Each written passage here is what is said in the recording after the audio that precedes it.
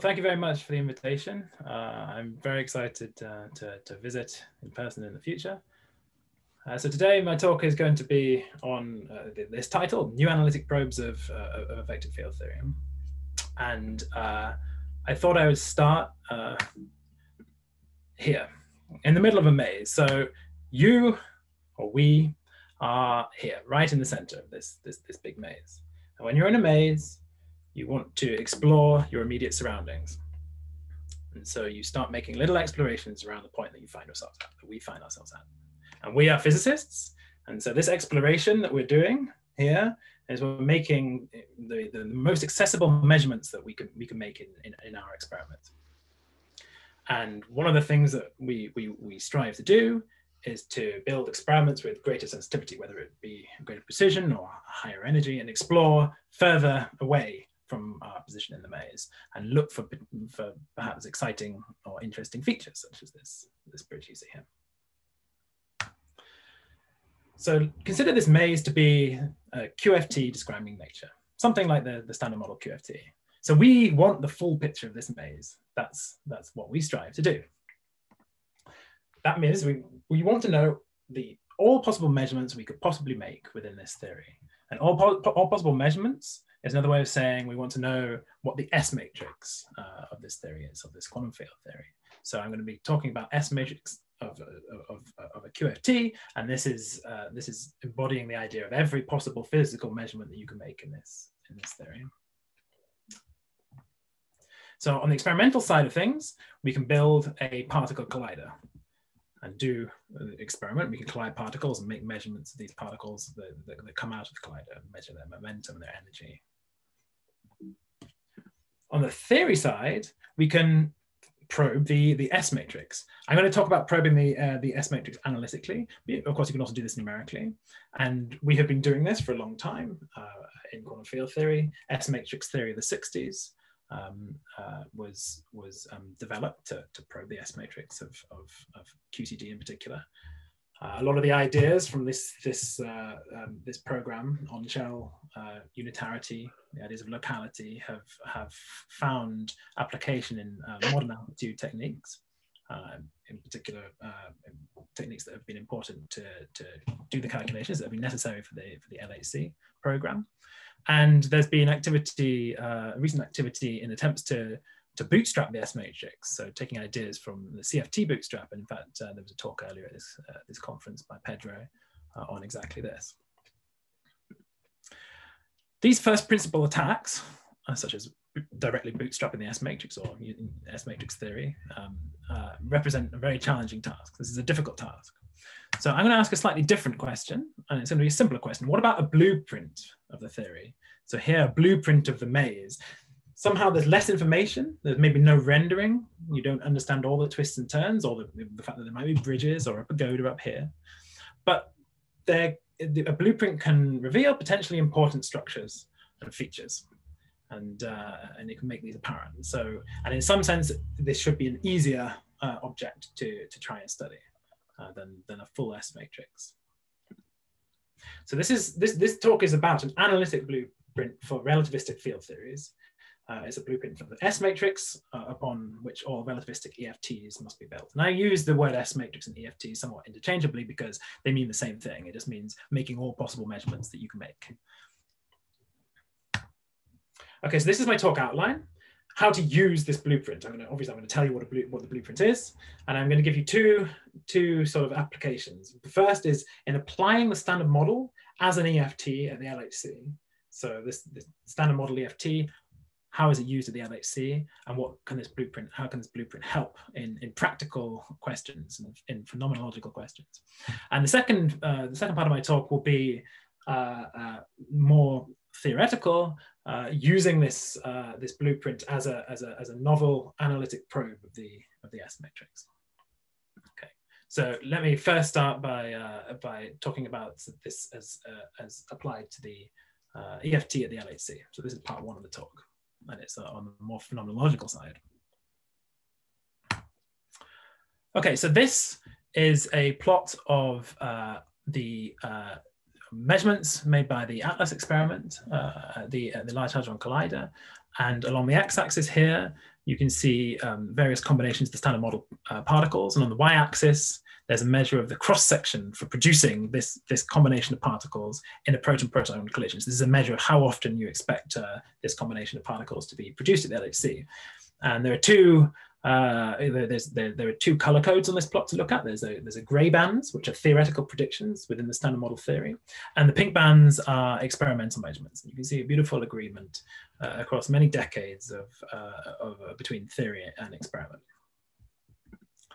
So the types of particles, standard model particles that are being produced and cross sections that are being measured are those of electroweak bosons, photons, top, anti-top particles. There's this huge spectrum of possible measurements uh, that, uh, that are being made at the, at the LHC.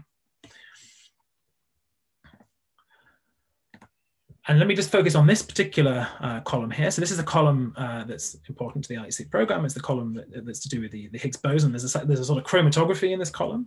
And uh, the, different, uh, the different entries here are depending on how the Higgs boson decays. So for example, one of these measurements here is uh, the, the, the, the, production of a Higgs boson, for instance, in fusing two gluons together, and then the Higgs boson then decaying into, into two photons. Now, as well as measuring this, this spectrum of standard model particles, the LHC is also searching for physics beyond the standard model. We know that it exists, and uh, history and aesthetics sort of points to, to us seeing it at the LHC. And there's two ways in which you can search for new physics at the LHC. One of them is a direct uh, way, directly search for it, directly produce the new particles, in which case you can add another column to this, this plot and uh, and measure their, their production cross-section. That's the second way, and that's a, a, more indirect way, and that's the way that I'm going to be talking about today. Uh, so this indirect searches for new physics, you can, I, have converted now on the on the other y-axis, so on the right-hand side of this plot now, the, uh, the, the total number of events that you would expect to see at the high luminosity LHC. And so this uses the fact that you're going to have large statistics, and it's going to have parallels with the CMB measurements. And you should think of each of these processes that uh, these, these particular particles and combinations as the sort of the CMB photons in the LHC. We have a lot of them. We're measuring their production. What can we do with them? And, there's, and the parallels go, go deep as well because it, these are giving us a window into the early universe. Uh, there's this, uh, there's, there's a, a, notion of precision. You have precision measurements because you have a lot of them. You have very good statistics and good systematics. And there's uh, precision theory calculations from the standard model with which to compare. And you can search for anisotropies in the standard model measurements. This whole story actually can be made very surprise, uh, very precise.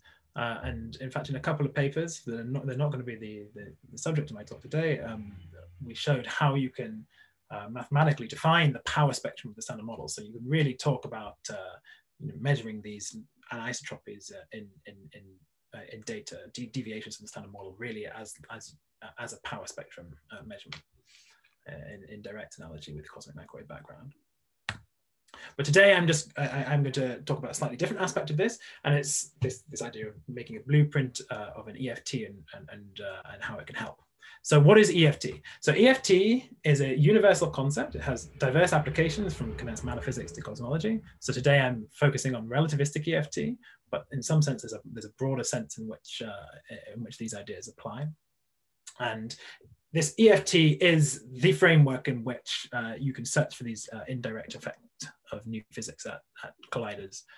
Um, it can parameterize the unknown, which makes it powerful. It gives you a, a, way to quantitatively discuss these anisotropies in the, in the LHC data. Okay, so how does it work?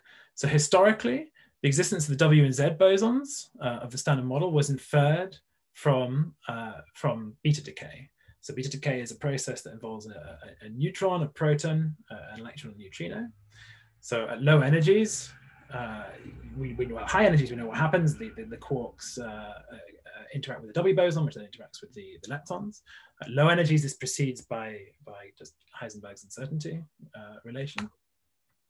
And what does EFT tell you to do? Well, EFT tells you to take the low energy particles of the theory, the proton, the neutron, the electron, the neutrino, and make a coordinate chart out of them, a, a basis, I'm going to use that word uh, in this talk, of operators that you, you get by just sticking these things, sticking these, uh, these fields together. So fields that correspond to these, these particles. So for instance, the, this, this interaction proceeds, uh, via a, an operator that connects the proton, the neutron, and the electron and neutrino. And these these fields have some contraction of their, their field indices together, but this is this is what it is. So I will be talking about the, the EFT that's relevant for the, the LHC. That's the standard model uh, EFT, which is the same in the same way as the as the uh, the beta EFT, beta decay EFT. You just make a coordinate chart out of all the particles uh, in your low energy theory. In this case, that's going to be all the particles the standard model here. So for instance, you can make a coordinate chart um, out of uh, a Higgs operator, a top quark, a W boson, and a, and a, bottom quark. And these interactions are just polynomials in these particle operators and derivatives. Uh, and uh, EFT, um, the mantra is that they, they have to be Lorentz invariant. You have to contract the indices of these, these fields, and they have to respect the symmetries of the standard model. So you have to write down uh, singlets under the, the gauge symmetries of the standard model. But that's it.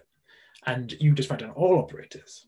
And this, this, this chart, this coordinate chart, this basis can be organized just, uh, just using dimensional analysis. So here you can um, you can count the mass dimension of each operator given the, the canonical mass dimension of the fields and you can organize this in an inverse powers of some some large energy to make up the the, the mass dimensions of the total Lagrangian is mass dimension form. And this this this lambda here, this capital lambda, is a is a is a large scale, so it corresponds to a suppression. So uh, just to introduce some terminology, uh, these operators that have mass dimension five. Uh, mass dimension six. This expansion is called uh, expansion in mass dimension. These C's are the coupling parameters. And typically you expect the, the higher mass dimension operators to be uh, less phenomenologically important because they're going to be suppressed by some larger scale. It's not always the case, but uh, typically that's, that's, that's right. And you can see already this, uh, this picture, this idea that I was giving you a few slides ago uh, of, um, of searching for an, isotropy. is the standard model Lagrangian here is like the isotropic uh, piece. And then these higher order terms in this EFT expansion are these, these anisotropies that we want to search for that will signal deviations from the standard model and signal the effect of new physics. So just to emphasize here, the physics is really sits in these coefficients uh, here, these C's, uh, Wilson coefficients of the EFT. Whereas the operators themselves, this sort of um, gluing together of fields and different combinations, is kind of like a choice of coordinate system. There's many different choices you can make. There's many different bases in which you can expand your EFT. Uh, and, and, these are the kind of this this kind of charts of these choice of coordinate systems understanding these coordinate systems this is what i mean by understanding the blueprint uh, of, of, a theory. Rather than the, the, the physics itself which hangs upon this these these coefficients it's understanding something much simpler um, uh, which is understanding the just the chart itself Okay, and so for instance, just to give you an example of how this works and how you can use EFTs to quantitatively search uh, or constrain new physics at the LHC, you can imagine that this or one of these operators will contribute, will, will affect and modify the, the interaction of the Higgs with two photons. So in this process, uh, where, the, where you have a Higgs decay into photon photons, this operator, if you like, you can calculate a Feynman rule from it. You can, you can work out how it modifies the Higgs decaying into photons, Higgs interacting. So going back to this, this, uh, this plot that I showed at the, the start, there is a measurement and there's a theoretical prediction in the standard model, and they agree with each other within errors. And so the fact that we don't see a deviation from this puts a constraint on this particular, uh, this particular coefficient. And so these C's are constrained by the cross-section measurements. And so this is a way to quantitatively put, uh, put constraints on whatever new physics is modifying this via some sort of quantum loops, if you like, these in the same way as the W boson, you know, modified this interaction that led to, to, to, to beta decay. And this, in the Higgs is obviously not the only place that you can search for these, these uh, effects of high, uh, high dimensional operators. They can also modify other processes as well. So for instance, different coefficients uh, will modify, for example, top decay at the LHC, or modify the interaction between a top quark, a bottom quark, and a W boson. Measurements of these coefficients will form uh, a, an important part of the high luminosity LHC program. This is going to be a sort of a legacy of the LHC will be a, a measurement of these, the constraints on, on the Wilson coefficients phrased in the, uh, the framework of the standard model EFT. So it's an important legacy in the same way as the, the, the LEP electroweak measurements were. So what's the, the issue that I want to talk about here? So how complicated is it to do this? Turns out that it's actually quite complicated to write down um, uh, a, uh, the, the standard model, the Lagrangian terms in the standard model EFT. And so this is a this this um, this is a chart that sort of gives the history of, uh, of, of, this endeavor. So along the x-axis in this chart is mass dimension. So writing down all operators at mass dimension five, six, and so on in the, in the standard model EFT. And on the y-axis is just, I'm just counting the total number, never mind what the, the, what the field content of these things is, just the total number of the, the, the operators, independent operators. Independent is gonna be the key word here in the standard model EFT and uh, this the, the arrows sort of show literature that uh, that that, uh, that obtain these numbers, um, and the red arrows show uh, numbers that are either overcomplete or undercomplete. So either there were too many operators, so there's redundancy uh, in the sort of counting of the number of physical measurements you can make, or there was uh, they were undercomplete. There, there, were, there were operators or measurements that one could make that were missed. The green arrow showed the the the, um, uh, the, the, numbers in the literature that were correct. And but you can see this is a tricky business because these incorrect numbers are, um, are under 50% of the of the literature. And so why is it tricky? Well, the tricky business is that there are relations between these operators. And I'll come back to these relations a little bit, but these the fact that they're not all linearly independent makes it makes it tricky. And so that's why these numbers are, are difficult to, uh, to come by and to construct. And so in these, in a series of papers with my collaborators here, this was the, the issue that we, we, we, we wanted to tackle. Uh, and so I want to tell you a little bit, of, uh, just broadly overview the, the, the methods that we use to, to overcome these tricky businesses and to actually write down this uh, or systematize this construction of EFT, not just for the standard model, but in, in, in general. So the, the kind of key thing really is to, is to not consider just a subset of the operators that are maybe the, the most phenomenologically important ones. It's actually to start and think about the entire set of operators that you could possibly write down, which is infinite. So there's an infinitely many polynomials, uh, you know, monomials you can make out of fields and standard models. It goes on forever. But when you start to think about the whole set of operators, you can start to see structures appear. So for instance, this is me writing down each of these blue squares corresponds to some operator that you can write down. And you've just written down, you can imagine all possible operators you can write down. And when you write it down like this, you start to realize that there are relations between the operators. There are operations that you can take. You can start with an operator that I've called here of 09, and you can uh, you can act on it. You can you can make you can take this operator from 09 to, to connect it with some other operator. And there's another action that you can do to take this operator uh, to another operator. And you start to see that uh, under under this uh, this um, this action, uh, these operators uh, sort of connect to each other. And you can imagine that you're combing out. There's a comb in which you're untangling a thread of operators and moving from one to the one to the next, and they're all connected by the application of this this this comb operation. And when you when you realize this, you also realize that you can backcomb. So you can you can comb out a, a hair, if you like, in this this infinite space of operators, you can also go back along this hair using, using a, a, backwards comb. And you can do this all the way. You can start here, and you can do it all the way until you get back to 09. And you can comb again, and you get to 04. But then you might find that after, once you get to some particular operator, you try and back comb again, but you, you, you annihilate this operator. You get nothing. And so the, the, this back combing terminates. You sort of reach the, the, the, the scalp, the follicle operator.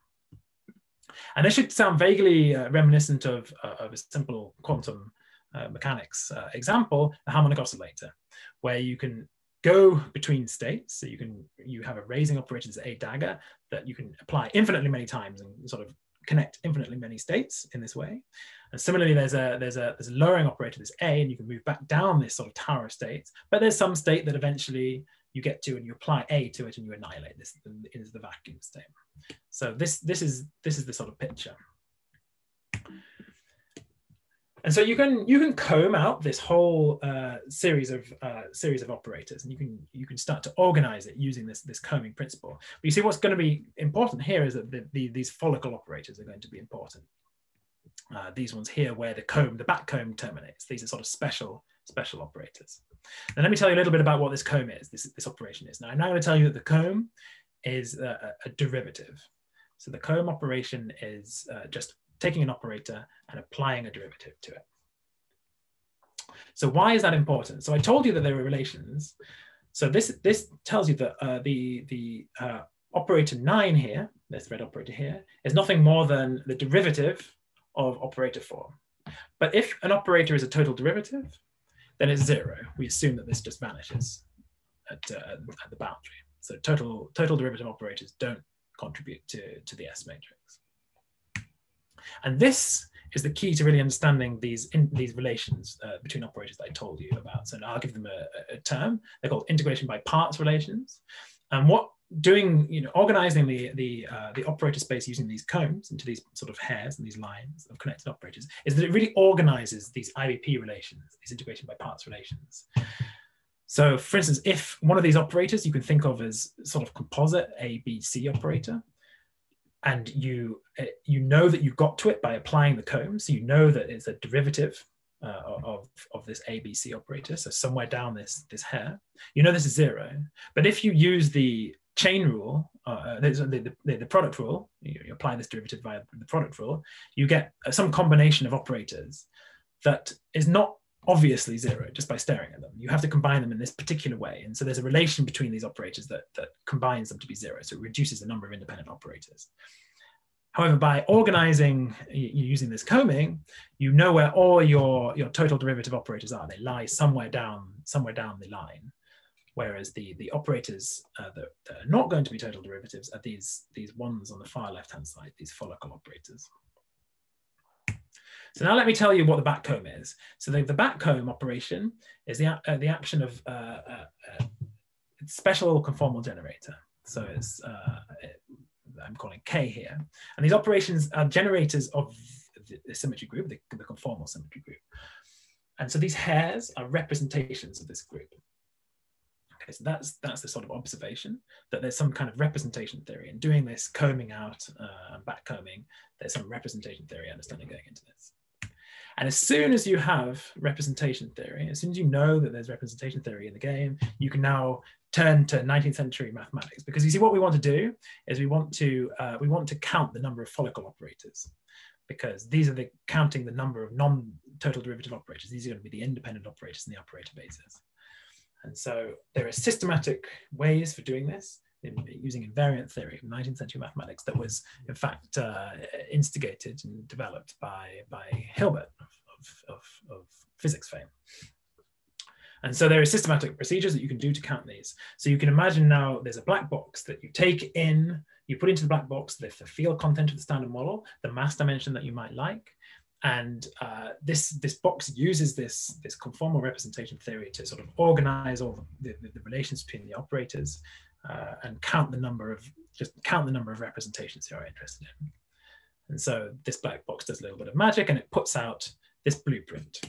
And so this blueprint uh, is, is the one that I'm talking about, and this is, this is the subject of this talk. It's a blueprint for the standard model EFT, or the, the, the S matrix of this, this theory, if you like. Blueprint for the, the possible measurements you can make, these Wilson coefficients. And so what does it actually look like? Well, this, this, this is termed a Hilbert series. So the output of this, this black box is termed a Hilbert series. And it is a, it's a polynomial. It's a polynomial in variables. So you can see different named variables here. So let me tell you what this does a little bit. So H stands here for, for Higgs. It's not really a field, it's just a variable that has the same name. So you can think of it as it's, it's not really an operator. This is not an operator, although it looks a bit like a Lagrangian. It's not. Uh, and there's there are there are variables for each of the fields in the standard model. And this thing is a, a polynomial, it's a sum of all these, these, um, these different terms. And what these terms tell you, there's a coefficient in terms of each, in front of each of these terms. And this tells you how many independent operators there are at mass dimension six in the standard model EFT. And so the fact that there's a one in front of here and a one in front of here tells me that there's one operator that I can write down out of uh, six Higgs fields. Or here, it tells me that there's two operators that I can make out of four quark fields. And so this number, the total number of independent operators, loses this sort of information about what, what type of operators there are, but you can just set all of these variables to one. So you count one plus one plus two plus one plus one plus two, and so on. Uh, and you sum it up and you find that at mass dimension six, this black box tells you that there are 84 operators here. Okay, And so that uh, turns this, uh, this plot into the following plot. There's a, it's a systematic procedure. So I should say here that these two lines, uh, the, the, the, lower blue line is considering the standard model with just one generation of fermions, and the, the, up, the upper line is considering the standard model with, uh, with three generations of fermions. And so applying this, this technique, generating this sort of blueprint of the EFT, this, this, this, this blueprint that told you about the number of independent operators, you can start to build up in a systematic way how many uh, independent operators there are at various mass dimensions in the standard model EFT. And so importantly, this gave the first determination of the, uh, the, the, dimension eight, the, the, the, content of the dimension eight, uh, mass dimension eight uh, Lagrangian in the standard model EFT. I'll come back to that a little, uh, but this, this has phenomenological importance for this, these LHC measurements and this LHC legacy. The other thing that this, plot told us is that we can go as high as we like, and so at some point we we stopped, and this is we, we stopped at, at the point where you could give um, a, an operator in the standard model EFT to every single person in the world at, in in, uh, in 2017 at least. Anyway, Okay, so that that solved a problem. That solved a, a historical problem, uh, and it uh, and it gave rise to some phenomenologically important uh, um, uh, results for the LHC. And so that was the the use of this blueprint, uh, part one of my talk, in, in, applying it to the standard model EFT at, at the LHC. And so I, uh, I'm now going to turn to the the second part of my talk, which is using this as a as a new analytic probe um, of the S matrix. And the, these parts will be somewhat interconnected. So they'll be talking between them. the same ideas will, will come up again. And this is work that I recently did uh, with uh, my collaborators Sridip Pal. So this is a, this is a very recent paper. Okay, so let me let me return to the uh, to the plot that I just showed. So one of the things that that, uh, um, that is often commented on is that wow, these operators grow fast. So you start off with two operators, or let's, let's just look at the, the bottom line here, two operators, uh, mass dimension five, these are the, the Weinberg neutrino mass operators. At dimension six, there's suddenly 84. Dimension seven, there's a little dip. This little dip comes about just because uh, it's, it's harder to, to make odd mass dimension operators. Uh, um, but then uh, when you get to mass dimension eight, there's this number 993. And so this tells you that somehow there are 993 independent coefficients to, to measure, uh, which, uh, it, you know, it, there's an explosion. And so why is this growing so fast? And so one thing I like, I'd like to do is to give a kind of intuitive feel as to why the number of operators here is, is growing so quickly, in fact, uh, clearly growing exponentially. And so for this, I, I turn to a, a, different EFT. So let's, let's consider an EFT of Lego. So these are these are little, these are supposed to be drawings of, uh, of Lego blocks. These are uh, two by two two by two Lego blocks that you can stick together. And so here's the question in this, in this Lego EFT, the, the kind of analogous question is how many distinct ways are there to combine these two by two blocks of, uh of the same color?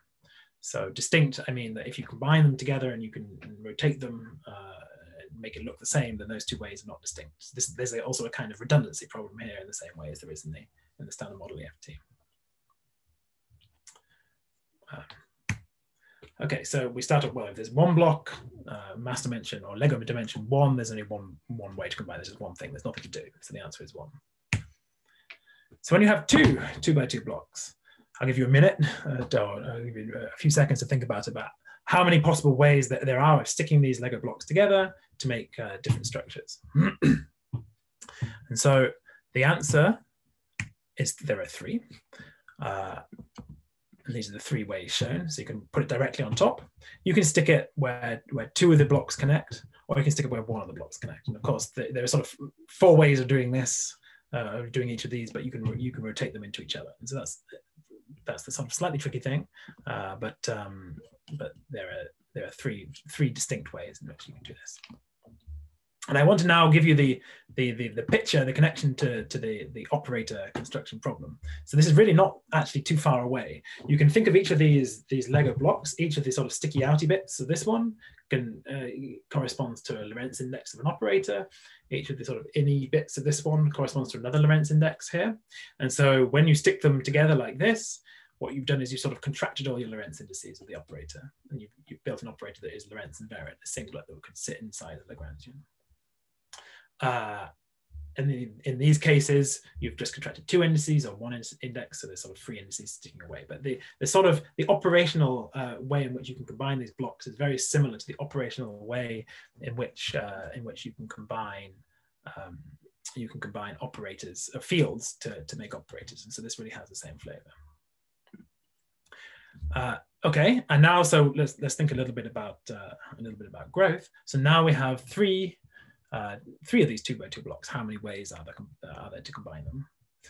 Uh, so I actually came up with this uh, this EFT when I was playing Lego with with my son. This is this is actually about a year ago, just after after my daughter was born. So I was terribly tired, and I had these three Lego blocks, and it took me a very long time to convince myself that this was the correct answer. That there are there are in fact 31 ways, a surprising number of ways. There are 31 ways in which you can combine these these three Lego blocks together to make uh, to make it indistinguishable ones and you know trying to, to, to work out which of these are not you know cannot be rotated to each other uh, when you're when you're tired is, is, is very difficult but uh, but this was the right answer. And I know it was the right answer because once I once I decided upon it I went to the internet uh, and and checked to see if anyone had done this before. And of course somebody had done this before.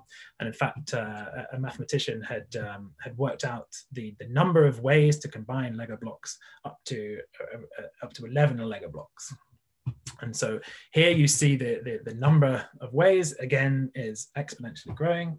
So this gives you a feel of, you know, a kind of constructive operational feel of why this, this, this grows uh, exponentially. And you can see uh, in Lego mass dimension 10, uh, again, you have uh, enough to, to give a distinct combination to everyone in the world, projected world population in, in, in 2057. So this also grows, you know, very quickly. And so in this sense, this this this growth of the standard model EFT is is is perhaps a bit more understandable. So why am I interested in growth? Why am I telling you about growth? Clearly, this is not for SMEFT uh. This is not going to be something, you know, the LHC is not going to go and measure uh, 7 billion uh, different measurements in the standard model EFT at mass dimension 15. I'll talk a little bit about you know, the, the, the, um, the troubles faced already at mass dimension 8 with, with around 1,000 operators. So as I've been emphasizing, this EFT is quantifying all these possible measurements that you can make in, in, in, in, scattering experiments. So what it's really telling us about this growth of operators is telling us about the growth of the number of possible measurements we can make in a theory, in, in principle. And this is telling us uh, uh, about the, the, the, the, growth in the degeneracy, the number of entries, the, the number of possible entries of the S matrix. And so if you can study this growth, especially if you can study it analytically, this gives you some new probe of the S matrix. It's just, just, just probing the, the degeneracy. So it's this simpler idea. It's just a simpler blueprint, but it's, it's some analytic probe. And so this, again, to, to connect to the ideas that I showed in my, my introduction, uh, introduction slides, this analytic probes of the S matrix in particular um, have been enjoying um, a recent resurgence. Uh, and so there's some references here. And also this is the study of the high temperature behavior of a theory. So you're looking at the entropy of the high energy states in the theory or the high mass dimension states, uh, thinking of mass dimension as some measure of some sort of scaling dimension of energy. And there are famous results for, for, for this in D is equal to two uh, due to Cardy, uh, where, uh, and these are the, the, the um, the growth of, uh, uh, of these, uh, the entropy of the, the energy states was a, an important check on the ADS CFT correspondence as well. Much less is known in D greater than two. Uh, Cardy had a, had, has a paper that, that gives the leading behavior of scalar theories in from the 90s. But uh, other than other than that, uh, very little is known. And so this is a this is a new thing to study. So to do that, let's look inside the box a little bit. So inside this this this Hilbert series box that's giving us this blueprint? Well, what it's essentially doing is it's giving us a, a partition function.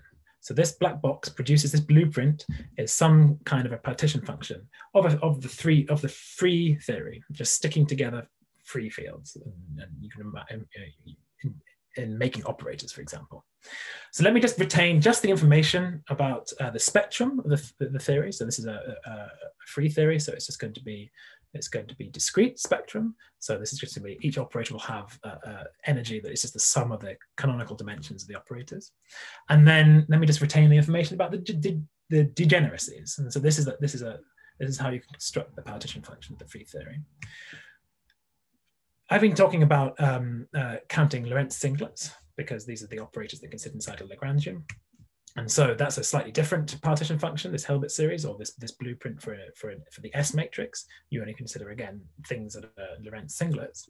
And here the degeneracies are exactly these numbers here. So this, uh, this uh, delta n, when, del when, when n is equal to 8, say, uh, so at mass dimension 8, this degeneracy is, is 993 in the standard model EFT uh, with, um, with one generation of fermions. And I'm, I'm sort of, again, I'm, I'm switching between partition functions, which are to do with the states of the theory, uh, the energy spectrum of the theory. And I, I just talked to you about uh, uh constructing EFT Lagrangians in some sense, but I can, I'm free to do this because it's a free theory. Uh, it's, it's, it's conformal and I can use, uh, I can appeal to the state operator correspondence. So I can use these words interchangeably here. Okay.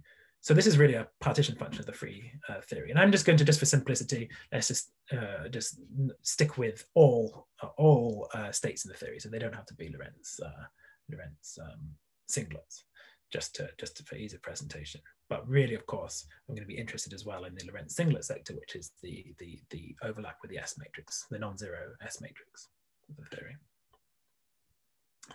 Uh, okay, so um, this partition function, in terms of the degeneracies, is often written uh, instead of being as a function of q, so this is a polynomial in q, uh, the, uh, instead of written as q, you often write this as e to the minus uh, beta or e to the minus inverse temperature uh, to, to get the, the, the, the, partition function of the theory.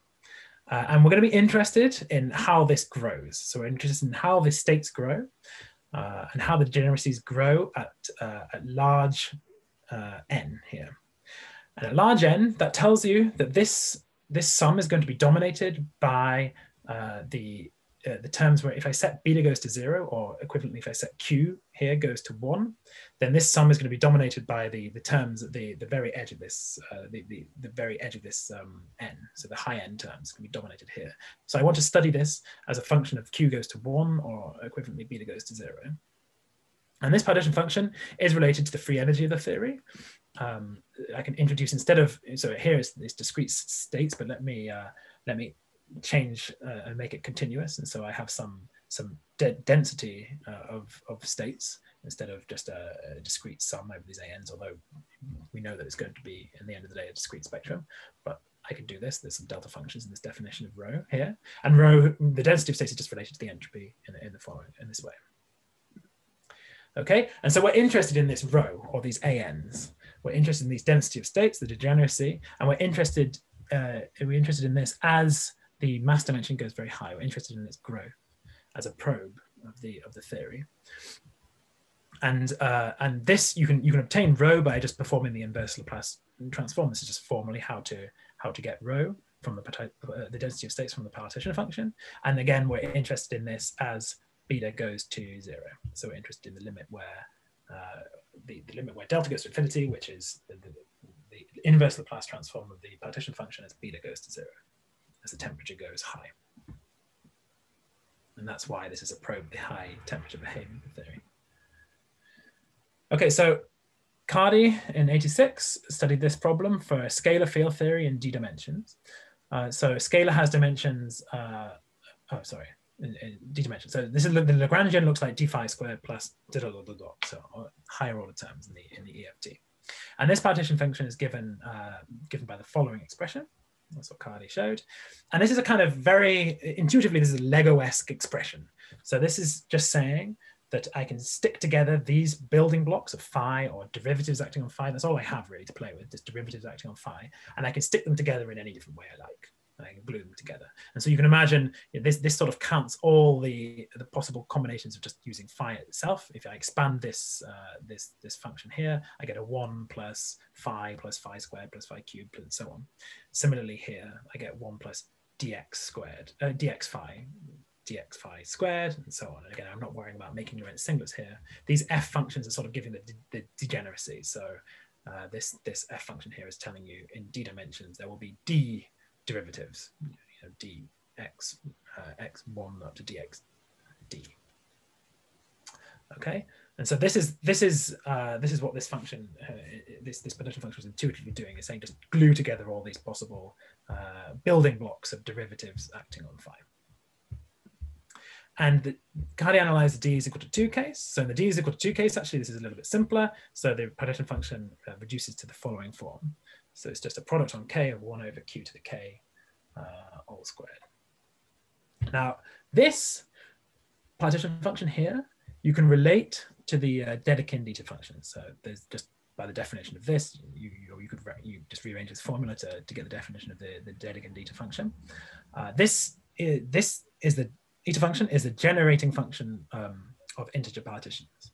And so if you're familiar with uh, the asymptotic growth of integer partitions, there's a very famous formula due to Hardy and Ramanujan as to how the number of uh, integer partitions grows with n, the asymptotic, there's an asymptotic formula for it. And so you know that there's an asymptotic formula for this, uh, and and uh, and and you can use that to understand the the growth of operators because the partition function is simply related to the the asymptotic growth of integer partitions in this case, and so you can you can you can uh, either use that reasoning or you can do a uh, um, just go down a more pedestrian route and just you do it you, you perform an inverse Laplace transform of this. And either way you get this this this expression for the the density of states. So the degeneracy or it, this is equivalent essentially to these ANs, the, the degeneracy of, uh, of operators in the EFT, or again, the degeneracy of the number of possible measurements you can make in your theory or S matrix elements.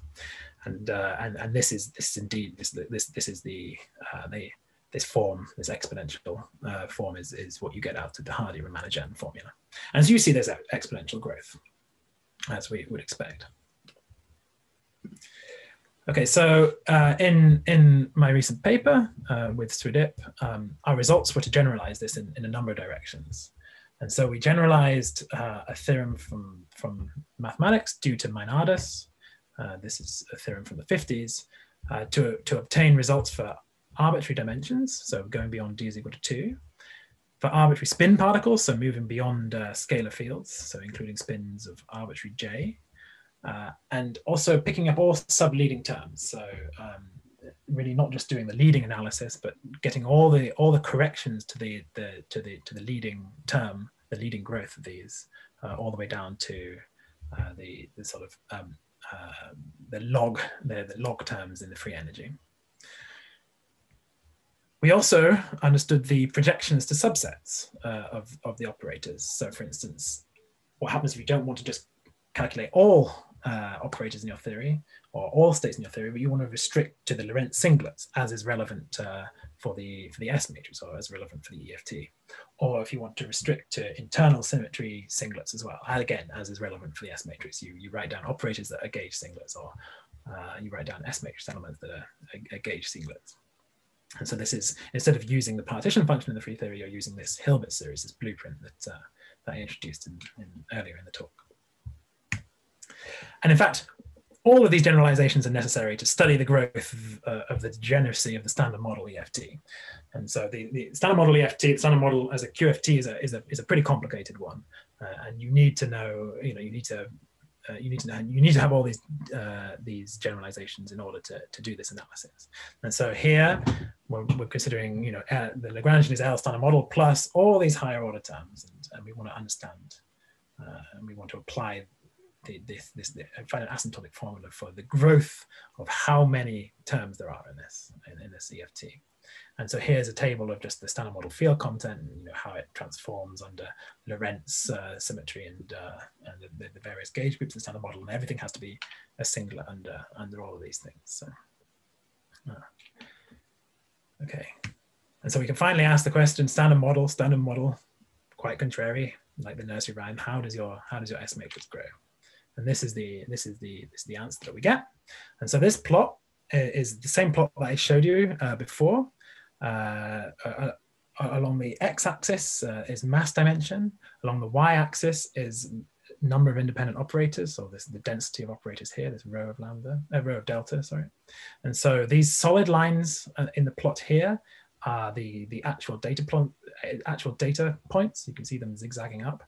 Uh, again for one generations of fermions, and again for three generations of fermions. And then these uh, solid gray lines here are lines corresponding to the following formulas. So these are the formulas that we, that we obtained using these generalizations of, of, of, um, of these asymptotic, uh, asymptotic methods. And to me, at least, uh, these are these are these are pretty exciting numbers. I mean, I, I never thought I would write down a, an equation that looked quite like this. Uh, and you know, they, they also these are asymptotic formulas. These are these are exact in, in they're exact in the sense that the error uh, between this formula and the the actual the actual number, the data, the error goes to zero as uh, as delta, the mass dimension goes to infinity. So these these really encode something intrinsic about the the standard model. And I'm not saying this in the sense that you know you should go into numerology and look for deeper meaning in you know in the in the number 217. But what this is telling you is it is it is telling you how you know the standard model. It is a probe of how the standard model uh, behaves at, at, high energies or at uh, high high mass dimensions. It's a it's a it's a result that is uh, becomes exact in that limit. So given the fact that it's an asymptotic formula, it happens to fit the low mass dimension remarkably well. So we, I guess we weren't expecting this. So this this this crazy looking formula, you just stick in delta to 5, 10, 15, 20, uh, and it really explains the low mass dimension extremely well.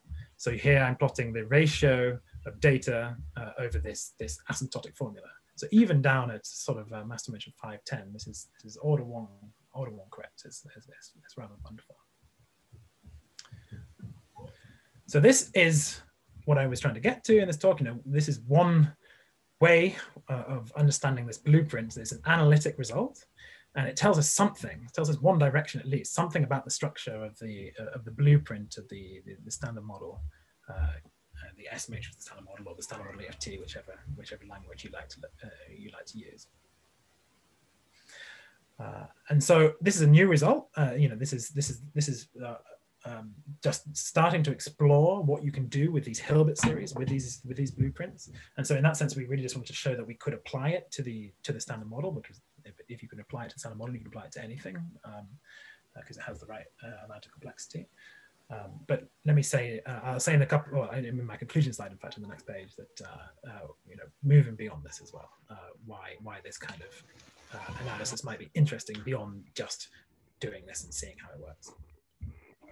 Okay, so that brings me to my conclusion. So there were two parts to my talk. I was talking about this this blueprint for the for the um, the S matrix and how this can help you uh, or how, how this can allow you to probe uh, the, QFT. In particular, I focused here on the standard model EFT. So part one was that this blueprint, this Hilbert series uh, for the for the EFT or the S matrix, solves some some genuine problems uh, that were that, that, existed in phenomenology. Uh, in particular, it solves this operator enumeration problem in the standard model EFT. It gave it the first determination of uh, the, the mass dimension eight part of the standard model Lagrangian. These, these standard model EFT measurements are, uh, will be a legacy of the high luminosity LHC uh, program. And so they will be around until you know, the, next, the next collider is built. And so they're very important measurements, they're important legacies. I'll say a little bit about dim, uh, dimension eight operators. So dimension eight, just by power counting, is dimension six operators squared. And uh, dimension six, and there's a typo here, this should be dimension six squared, is already used uh, in, in the fit by the experimental collaborators. So for instance, extracting the dimension six operators, they, they include uh, in that extraction a, a, piece that goes like dimension six squared.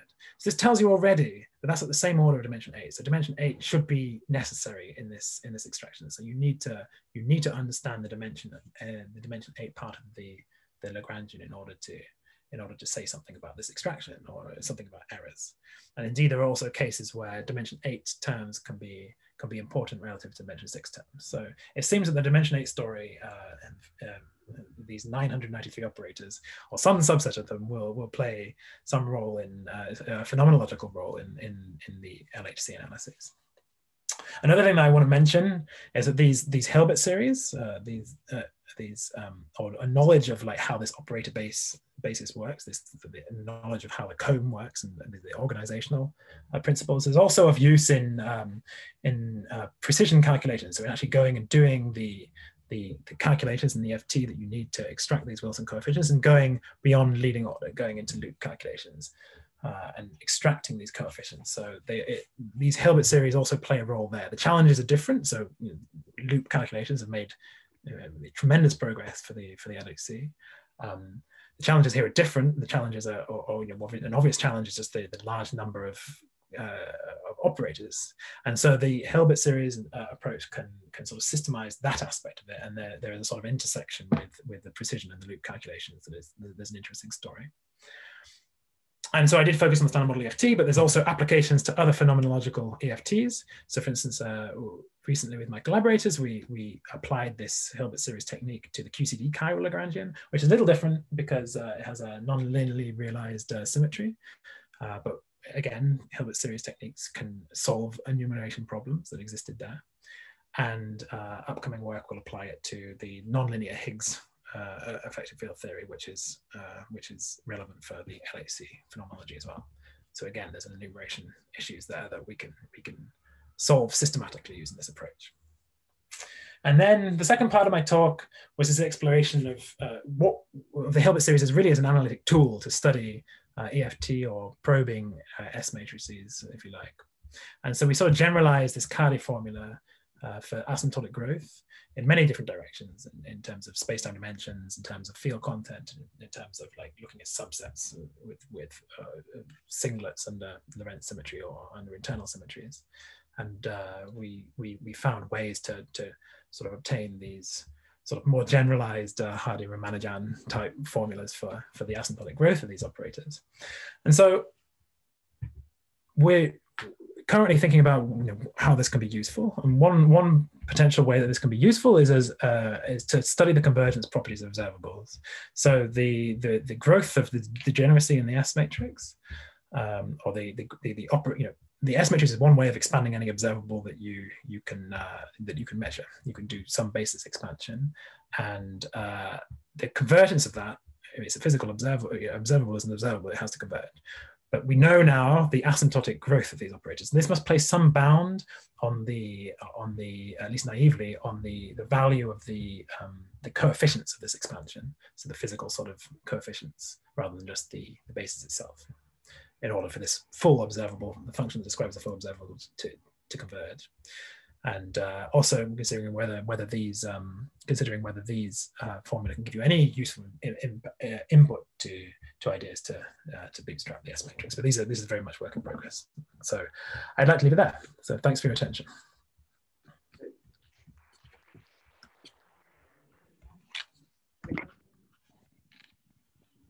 I can questions. Thomas, I, I have a couple of questions. Can you hear me? I can just about hear you. Yeah. Um, so what happened if you um, impose supersymmetry? Can you get something interesting? Yeah, that's a that's that's a very very good question. So that's something that we're looking into at the moment. So supersymmetry should be imposable in in in a in a Hilbert series uh, framework. So I think this is something that can be treated by similar methods.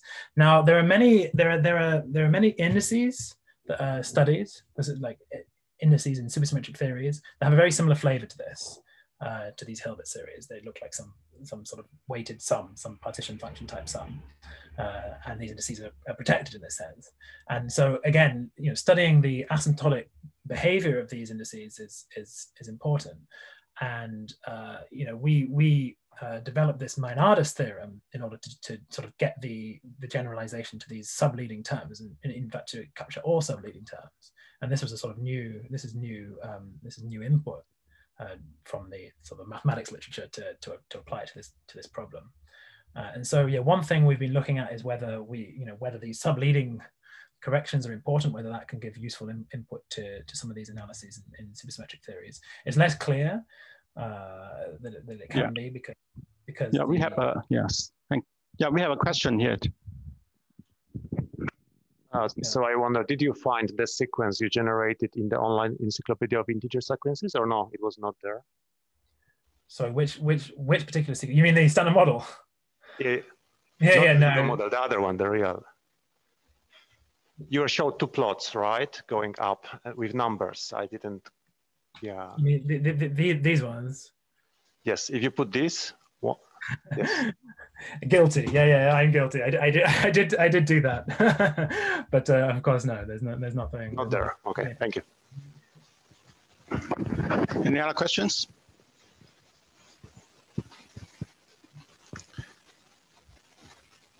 So uh, one more question. So at the beginning, you talk about special conformal symmetry. Uh, so dilatation is not in the game, so or not? no- What is not in the game? Sorry. The dilatation you mentioned a special conformal. Uh, yeah, yeah.